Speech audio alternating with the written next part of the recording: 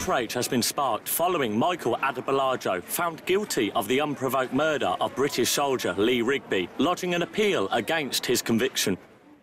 29-year-old Adebolajo and 29-year-old Adebowale both admitted killing the 25-year-old soldier. However, Adebolajo is now attempting to have his sentence overturned as he denies murder, describing the killing as a military operation and arguing the sentencing judge did not allow his defence that the killing was part of a war between Britain and Muslims.